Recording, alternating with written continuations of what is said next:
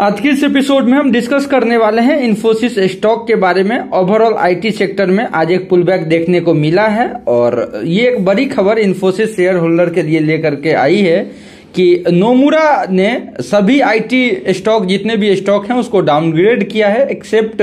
इन्फोसिस और टेक महिंद्रा को। इन्फोसिस का टारगेट अभी भी हालाँकि 16 परसेंट डाउनग्रेड ही किया है, लेकिन फिर भी जो करेंट मार्केट प्राइस है, उससे ज़्यादा और 1720 के टारगेट देखने को मिल रहे हैं।